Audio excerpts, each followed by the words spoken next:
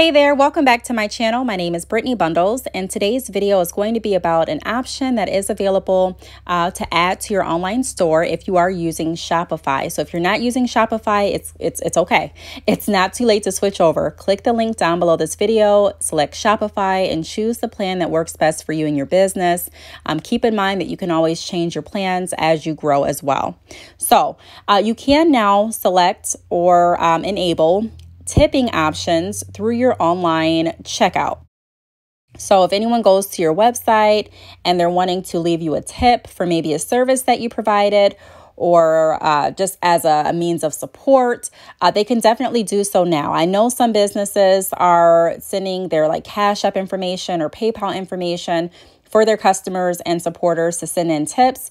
And so I think this is going to be beneficial for a lot of businesses because you don't have to worry about sending out an invoice or providing your Cash App name or your PayPal name for customers and supporters to be able to leave you tips. Now, there are a lot of businesses reopening and there are a lot of businesses that are um, you know just just needing a little bit of, of support needing a little bit of extra of extra love and attention during these times because we've been you know locked down for so long and there's it's had an effect on every business in some aspect. And so that's what we're going to be going over in this video. If you are interested be sure to give this video a big thumbs up. Please make sure that you are subscribed and let's get right into the video so like I mentioned, this option is available on Shopify. I made a video or videos about enabling the option uh, for gift cards through your online store. I explained the benefits that it can allow you to free up some of your cash flow um, and be able to still help your business generate income because there are a lot of people that are looking to support businesses during this time, especially businesses that they have a relationship with or businesses that they love um, or businesses that they see value in. And so purchasing a gift card was a, you know, it is a way um, for your customers and supporters to still be able to give back to your, your business without you necessarily um, having to go ahead and send out a product at that time. And so, tipping options uh, can definitely work simultaneously with your gift card options as well, because some people were purchasing gift cards just to show support and not really buying any products or services with a gift card. And so, if that was the case, in order, you know, instead of them doing that, uh, if they did want to support you, allowing tipping options would be another way to do that. And so, as you can see on the screen, it reads Online tipping gives your customers the option to add a tip to their order on the payment page when they check out. Customers can add the tip as a percentage of the order total or as a custom amount. You can customize the online tipping experience to suit your goals, such as supporting your business financially or raising money for a charity. And so, uh, if you are looking at giving back to an organization, or if you're doing uh, sponsoring for an event or a person, this is also another a way that you can have your uh, donators and supporters and your customers be able to give to that event. Um, I think this is going to be really beneficial, like I mentioned before, not only for the supporting aspect, but also to cut down on the confusion that people may have. I hear a lot of times where people are like, I just want to support this business, but I really don't know how to give money.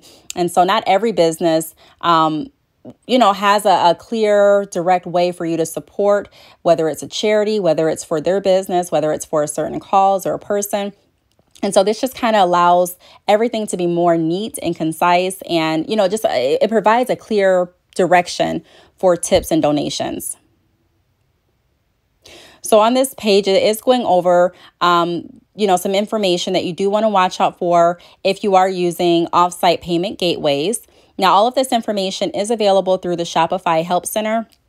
When I typically create videos regarding new updates with Shopify or existing information with Shopify or um, tools or how to's, whatever I'm doing uh, to provide information pertaining to Shopify, I like to provide the, the resource and where you can find this information. So all of this information is available in the Shopify Help Center.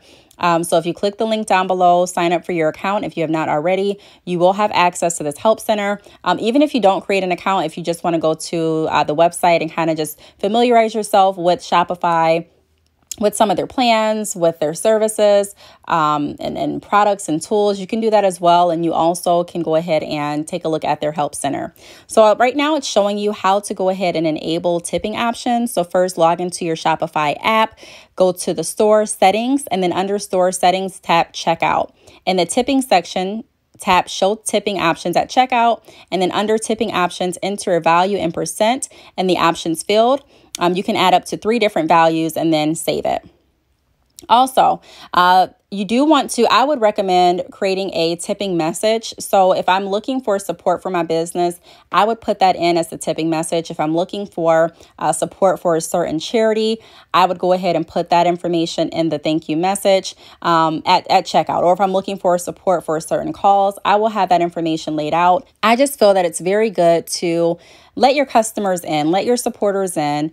Um, let them know what's going on with you at this point. I mean, you don't have to get to a point where it's unprofessional and you're, you know, just venting to the world. Um, but you you can let your customers know, hey, you know, we hit a very rough patch. We want to stay in business and continue to provide our services and our products to you.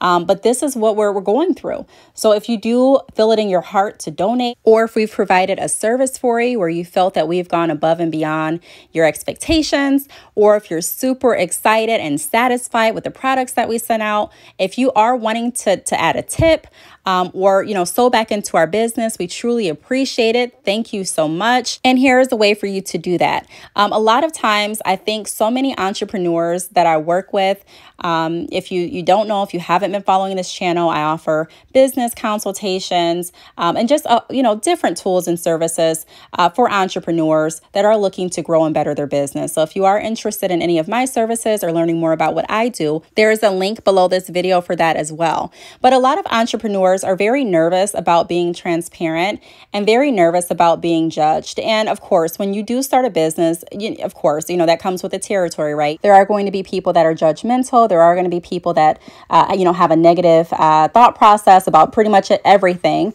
And so sometimes, you know, it discourages entrepreneurs from actually being transparent and um, asking for help. And I just want to remind all of you, anyone that is in business, it's okay to ask for help. It is definitely okay to ask for help. Um, it's okay to ask for a tip. It's okay to allow your supporters to sow back into your business. It's okay. I used to have a, like a really hard problem asking for help. I just did not want to do it. But I want to let you know from prior experience, it's okay to ask for help sometimes. Um, I do want to also touch on um, how to refund tips because there will be some people possibly that will ask for a refund back for their tip. And if you are wanting to do that, or if you decide to, um, you know, go ahead and, and refund it. I don't know what your refund policies are, but say you go you're going ahead and you're refunding the tip, um, you can refund it just as you do any any type of order. So um, on the screen, it provides different steps. In just a moment, I'm going to scroll down, um, and then also you can find more steps going right through the Shopify Help Center. But you pretty much will just pull up your orders. If you already have Shopify, then, you know, kind of picture along with me. Pull up your orders, click the order. You'll go ahead and click refund, and it gives you an amount to refund. You can choose to either refund the certain product or you can choose to go ahead and um, refund, you know, a portion. You can refund just the tip amount. I mean, you can go ahead and refund like you typically do. I kind of scrolled pretty fast, so I apologize for that. But um, the tips are available through the Shopify Help Center. Again, it's it's all available there. This is a brief overview of the information that's already uh, privy to all of us. I just wanted to let everyone know the options that are available because some people may not know. Um, I didn't find out about this option until a few days ago. I think it was it may have even been yesterday my days have kind of been uh, pushed together uh, lately. But you know i think this is really beneficial and i think that this would serve as a uh, option to allow people to sow back into your business.